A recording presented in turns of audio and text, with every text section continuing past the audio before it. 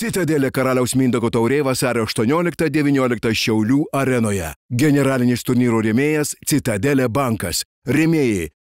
Oficialus turnyro transliuotojas LRT televizija. Bilietus platina Ticket Market.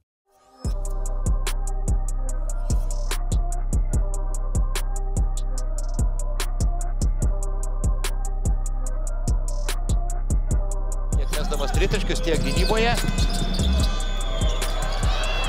Tayloras vagia kamolį, koks greitis, kokia kūno koordinacija ir du taškai.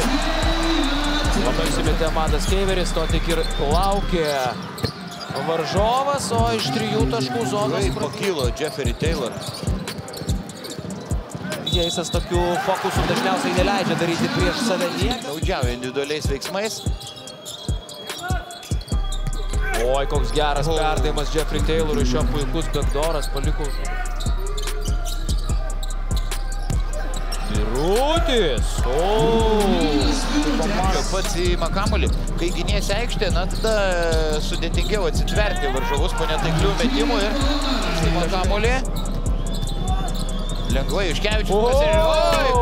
yeah. Paslėptas. Tai ir tada nedaug truko Vilkams iki pergalį. Štai ilgas Oh, perdavimas. yeah. Ant to paties grėblio lipa Vilkai. Branks.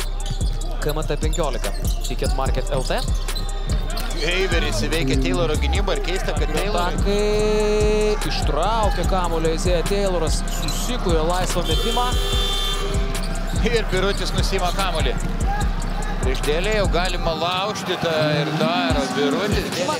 Ir į finalo ketvirtą bilietai vis dar prekyboje Ticket Market LT prekiauja jais, o dar kelias valandas jums galioja nuolaidos kodas situacijos, nedaug trūko.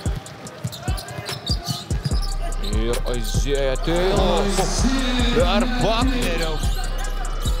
Dabar aikštėje, na, iš ne vieno snaiperio, na, Tayloras gali geriau pataikyti iš toli ir Kozys čia. Izėja Tayloras Polonarai, Žalgiris greitajame polime. Vienas iš trijų žaidėjų šiandien nepelniusių taškų Žalgiriui, iš keturių. O čia Biručiai. O Kalnietis buvo atsidengęs, bet Birutis neatliko iš karto perdavimo. Nes kas kamuolį išmitui 2 plus 1 atrodo jau. Jie turi keturias komandinės pražangas per porą minučių, Žalgiris nei vienos. Ojei. Žemaičio sunkus metimas, bet Birutis vis tiek yra pajėgus atstumdyti tokio plauko aukštaūgius. Taip, taiklus Lukauskio metimas. Seimas Nespavo šį sezoną yra ta komanda, kurią toks Žalgiris tikrai pajėgus nugalėti.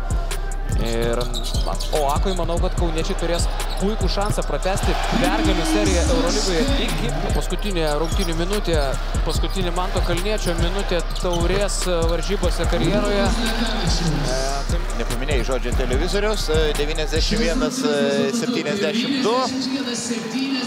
Vai lengva, sakyčiau, užtikrinta Žalgirio pergalė.